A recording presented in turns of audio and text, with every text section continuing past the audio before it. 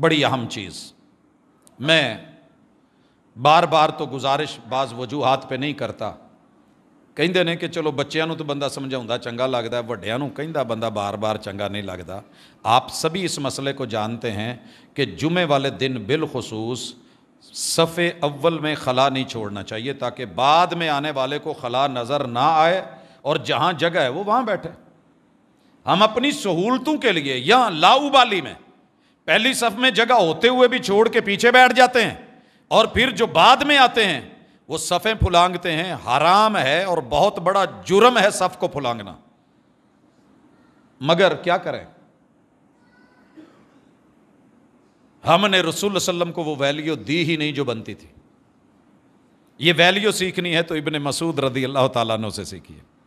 आ रहे थे, वज़ू करके मस्जिद में एंट्री ले रहे हैं। दाया कदम अंदर रख लिया है और जूता उतार लिया है। बायां कदम बाहर है और अभी जूते में आपने कहा, इजलिसू आगे नहीं आना, बैठ जाइए। उन्होंने मान के दिखा दिया था। वहीं दरवाजे में बैठ गए। दायां कदम अंदर है, बायां बाहर है, वहीं बैठ गए। दहलीज पे। महबूब ने पूछा, इबन मसूद, आगे नहीं आए, वहीं बैठ गए कल के रसूल सल्लल्लाहु अलैहि वसल्लम आर्डर का तकाजा ये था, हया का तकाजा ये था, अदब का तकाजा ये था। जब आपने बैठने का बोला है, हालाँकि बड़े फ़कीर थे, कह सकते थे कि मुझे बैठने का हुक्म है तो मैंने नमाज़ पढ़नी है तो सफ़ में बैठूं ना जाके जहाँ जगह है। ये कोई बैठने की जगह है? आर्डर सुना, वहीं बैठ गया कुर्बान ना जाऊँ इस अदा पे। बाहर वाला कदम अंदर नहीं किया, अंदर वाला बाहर नहीं किया कि चले बाहर बैठ जाता हूँ। और हमें सारी ज़िंदगी गुजर गई। रसूलुल्लाह सल्लल्लाहु अलैहि वसल्लम ने बोला था, सफ़े मत फुलांगना जुमा लगव हो जाता है। किसी को इशारा मत करना जुमा पढ़ा पढ़ाया बातिल हो जाएगा। पक्की पकाई देख जो जाती रवे।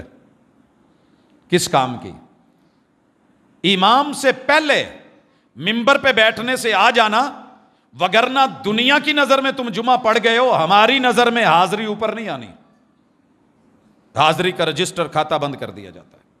मगर मसाजिद में हाल जाके देखें। यकीन कीजिए बड़े बड़े नामी गिरामी, उलमाए किराम तशरीफ़ फरमा होते हैं, आगे एक अजान देने वाला होता है, एक स्पीकर सेट करने वाला होता है।